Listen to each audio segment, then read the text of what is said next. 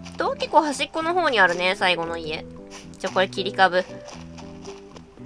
そして私はなぜ道を歩かない？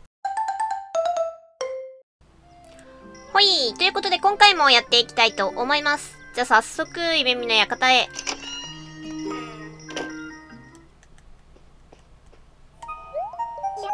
いらっしゃいませ。ラクテーションサロン、夢見の館へようこそお越しくださいました。ということで今回は、オレンジ色に包まれた秋のこの葉村に行ってみたいと思います。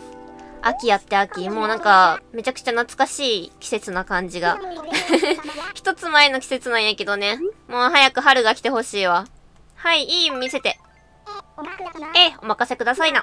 では、夢をお取り寄せするためにインターネットにおつなぎしますわね。ということで、この葉村に出発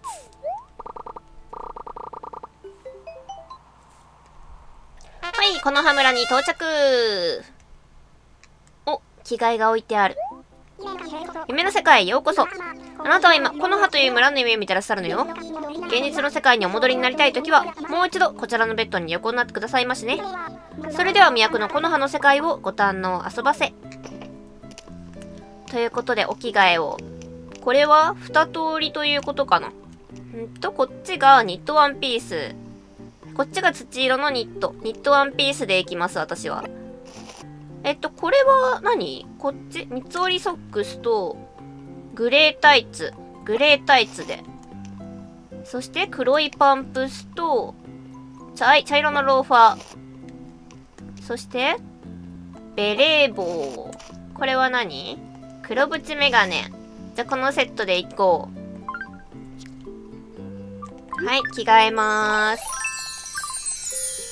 じゃーんこんな感じで、いやー、女子だわ。女子力だわ。これ何？タイマー？なるほど。なぜタイマーがあるんだ？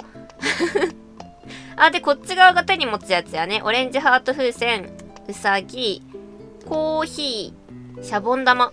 じゃ、私は、コーヒーでいこう。こうね、ゲームの中ぐらいね。そしてこの格好に合いそうやなと思って、コーヒー、ててーん。さあ、ということで、1軒目のお家にお邪魔しに行こうかな。かわいいかわいいリス住人が迎えてくれるっていうことやったんやけど、あれかな全員、びっくりした。何があるんかと思った。全員リスなんかな住人は。お、スパークリスやリス。目の前でコーヒー飲まれても困るよね。よう、見かけない顔だが、よその村から遊びに来たのかい?そうよ。いや、ちょっと様子が違うな。ははん、ひょっとするとこりゃ夢の中だな。ま、どっちにしても、この村へよく来たな。そして、一人目の住人さん、しのぶさん、らっしゃい。お？お店？お店やってるの？何屋さん？タケノコが置いてあるけど。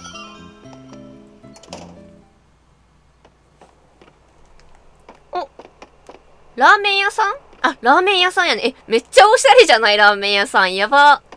ちょっとなんか、洒落た感じのラーメン屋さんなのね。なるほど。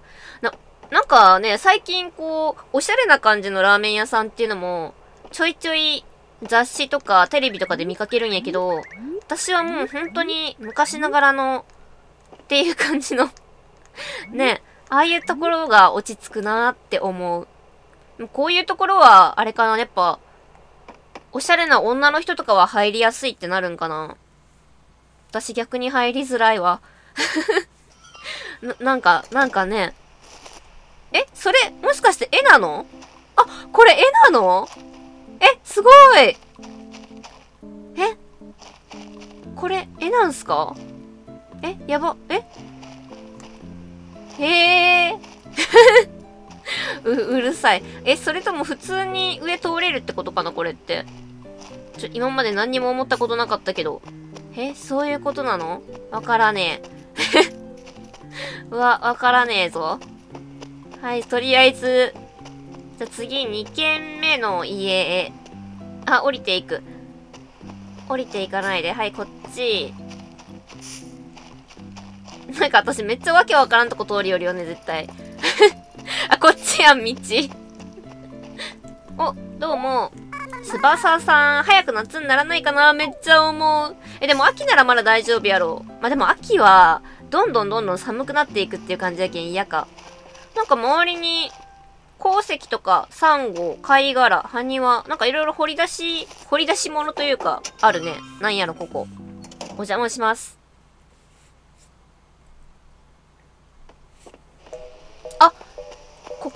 か。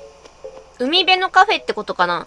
あ、でもこの、秋この季節になってきたらもうね、この辺のお店は暇になってくるんじゃないんかな。やっぱ夏場は、あ、やけん夏になってほしいんか。お客さんがおらん、ちょっと閑散期に入ってしまった、みたいな。だってもう秋はすでに、こう、海の方行ったら寒いやろ。風が冷たいやろ、めっちゃ。はい、左の部屋へ。お、左側トイレや。ま、あれやね、なんか、さっぱり、すっきりっていう感じ。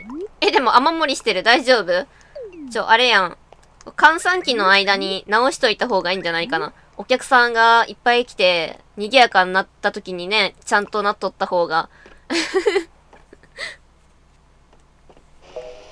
ほい、そして、右の部屋へ。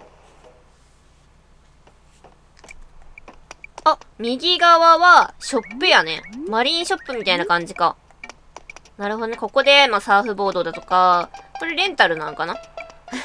サーフボードをレンタルしたり、ま、この辺で水着とか、いろいろ買ってみたいな。これは海辺で引くんかな？あ、この状態で引けるんや、ちゃんと。なるほど。で、ここでちょっと遊んでみたりとか。私、こういう海辺のお店みたいなとこってあんま行ったことないけんな。まあ、水着は家から持っていくし、サーフボード、サーフィンとかしたことないし、普通に、普通にちょっと波打ち際とかで遊ぶぐらいよね。はい、それじゃあ、2階へ。あ、2階は、これは多分、翼さんの自室ですね。かっこいい。あ、そしてあれなの？これは、あれよね、スノボ？スケボー？あれ？スノボとスケボーは別よね。スノボが、あれか、雪のとこでやるやつか、スノーだから。スケボーが、え、ろ、あのー、路上でやるやつ？路上？地面でやるやつ？ね、その辺の違いがちょっとよくわかってないよね。時計でか。時計めっちゃでか。自転車好きなんかな？あ、音楽も好きなんやね。ここにレコードめっちゃいっぱいあるし。あ、しかし、整理整頓がされていない。あ、こういうのあるんや。ねなんかこういう崩れた、何 ?CD の山、本の山みたいな。え、でもなんかめっちゃリアルな部屋感で撮っていい気がする。ね、他ちょっと綺麗にしてるのに、あそこちょっと雪崩起きてしまったんやね。そういうこともあるよね。いっぱい物持っとったら。はい、そして、そっか、秋だから、虫がいっぱい飛んでいるのね。あ、びっくりした 虫がいっぱい飛んでいるのに、今、私の村はそのまま冬だから、虫は全くいないんだけれども、あ、待って、こっち側に一軒。あ、こっちからか。いや、こっちから行った方が早いんやね。じゃ、こっち側から、そこの橋を取ってすぐか。この橋いいな。ちょっと和風な橋ね。めっちゃ綺麗じゃない？はい、ここが3軒目の家。3軒目の家は周り、キノコと花。めっちゃ可愛い。女の子の家かな？おおびっくりした。どうも。さくらさん、のんびりしていってね。これ絶対なんか惚れるやつじゃない。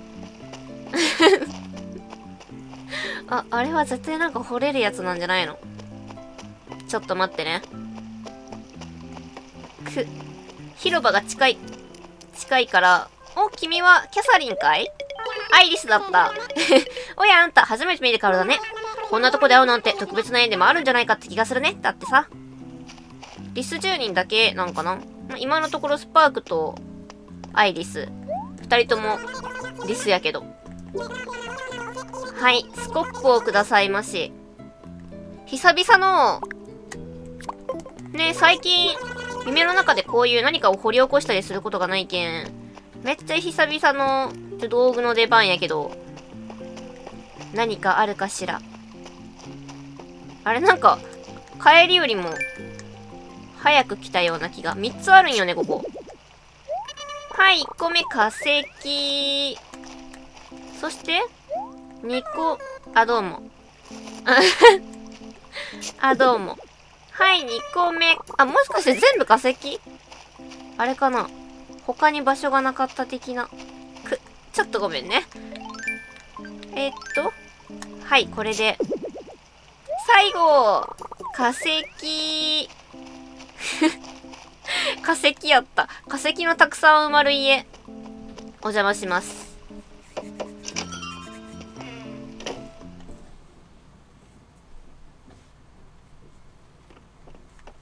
あ、綺麗これ庭先ってことか。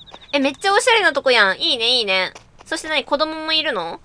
子供か、まあ弟かもしれんけど、ちょっと年の離れた弟みたいな。ほら、もういい車にも乗ってるし、これは、自分のやつかな？自分のチャリかな？そしてこの小人は多分ね、心の綺麗な人にしか見えないから、私にはまあ見えてんだけど。はい、左の部屋へ。左側はなんかすごい綺麗。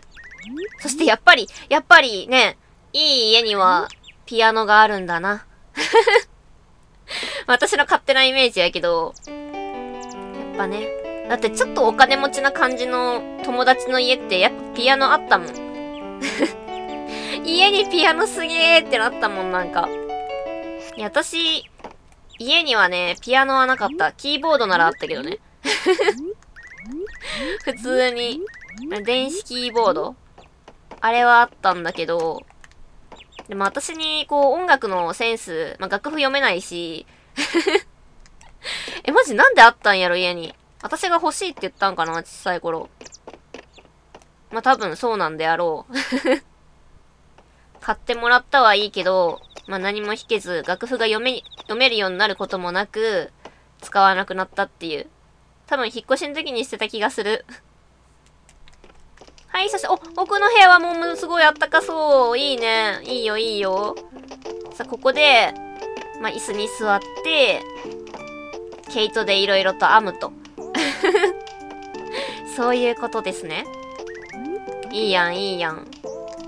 めっちゃいいやん。なんかつい最近友達と話しよってさ、なんか毛糸で手袋とか編んでみたいな、みたいな話をしよってんやけど、いや、古風だね。手袋編んでみたいなっていう発言をしよったのは友達なんやけどえ、でも確かに、今でもこう、何 ?100 円ショップとかさ、そういうとこ行ったら編み物、手芸のコーナーってすごい大きく取られとるけん、まあ、しよる人はしよるんやろうね、手芸。私はなんかそういうことを本当に全くしないから、ね不思議な世界 編み物とかできないよ。母親は私が小さい頃めっちゃしよったけどね。帽子とか、毛糸の帽子。お、右側は、え、何？靴屋さん？お店やってるの？そういうこと？だよね、これレジやもんね。へえ。なるほど、なるほど。普通に家だけかと思ったらそういうことじゃないのね。そしてまあ、季節柄ブーツが多いっすね。ブーツ、ブーツ。でもブーツ見よったらめっちゃ欲しくなるよね。わかる。ショートブーツも欲しくなるし、ロングのやつも普通に欲しくなるし、でもブーツって結構なんかこうね、靴箱とかで幅を取るから 幅を取るからあんまり量変えないっていう。ほい、そして、2階へ。あ、2階かわいいえ、なんかめっちゃかわいいんだけど。え、いいね、いいね。え、すごいいいね。なんか、ナチュラルというか。え、こういう雰囲気好き。ここはお店？カフェかな？なんか、ね、看板立ってあるし。カフェっすか？これ、街用？めっちゃおしゃれやん。めっちゃおしゃれやん。でもこういう椅子ってさ、どうなんやろ？なんか、ブチって取れそうじゃない？上の部分。そんなことないんかな？なんか、えー、なんかね、え、自分重いけどどうしよう？みたいな。そんなことにはならないの？そしてテーブル。いいね。ケーキ、カップケーキ。カフェもしばらく行ってないな。夏、夏に行ったのが最後な気がする。はい、そして、地下へ。お、お、地下は、地下はなんかさらにちょっと大きめのカフェやね。いいね、いいね。ほら、ピアノを演奏しに来てくれるようなカフェ。これピアノなんかな？そこから。え、でもこれなんか2段あるね。ってことはピアノではない。なんていうんこれ？シンセサイザー？シンセサイザーは、あれか。教会に置いとるやつかな。2段になったらこういうのってなんて言うんやっけ？全くわからねえ。楽器の名前がわからねえ。私はもうなんか見た目でパッと見て、ギターっぽいものは全てギターやし、バイオリンっぽいものは全てバイオリンやから、大きさで名前が違いますって言われてもわからんのよね。全然わからんのよね、そんなのは。なんか音楽の授業で習ったような気はするけれども、そういう才能が欲しかったわ。はい、それじゃあ。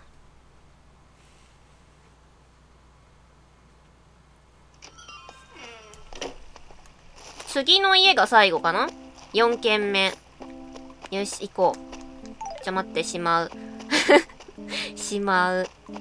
向こうからちょっとアイリスが、せっせせっせと歩いてきよったけれども。んーと、結構端っこの方にあるね、最後の家。じゃ、これ切り株。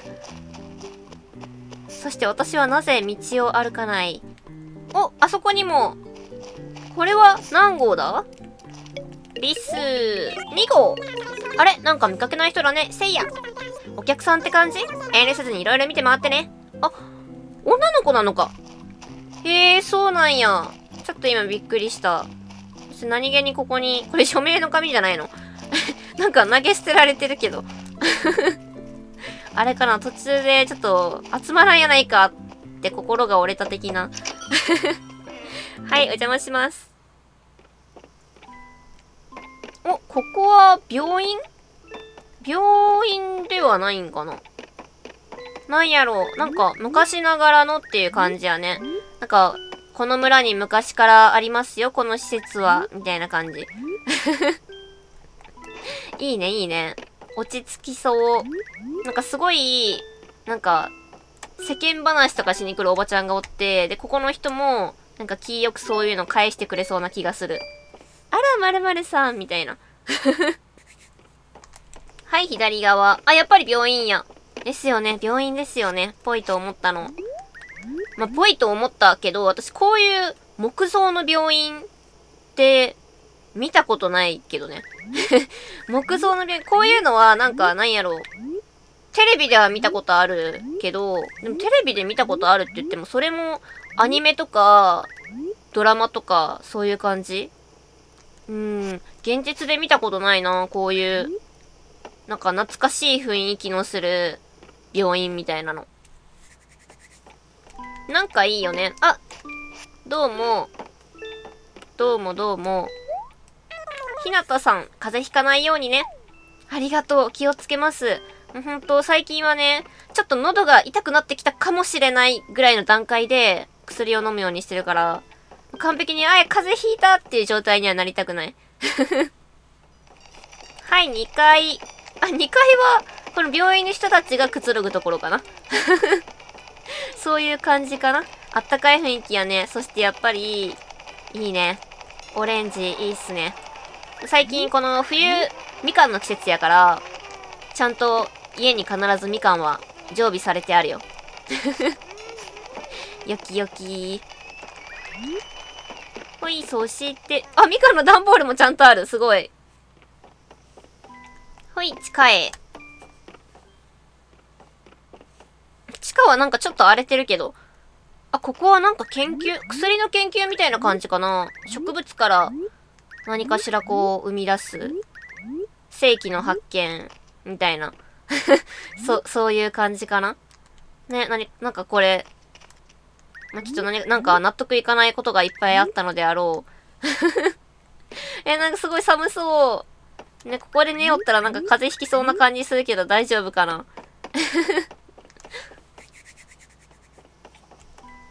お邪魔しました。いいね、こういうなんか、ちょっと、ちょっと森の奥まったところにある自然いっぱいの昔ながらの病院。ああいうの実際にあるんかな？お、これはももこちゃんよね。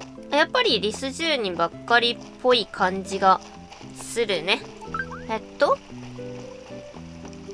ああ、上の方はあれか、人の名前か。そんなキャラクターいたっけなと思った。リッキー、シレット、ララミー。ララミーちょっとよくわからんけど、グミ、2号、スパーク、アイリス、ジュン、モモ、これ別カ全員、リス。リス10匹の秋の木の葉村ということで。はい、ということで今回はこの辺で終わりにしたいと思います。最後まで見てくださってありがとうございます。よろしければチャンネル登録、グッドボタン、Twitter フォローお願いします。最初から見てもいいよという方は動画の概要欄に再生リストのリンクを貼ってますのでそちらからどうぞ。いつもたくさんのコメントありがとうございます。また次回の動画でお会いしましょう。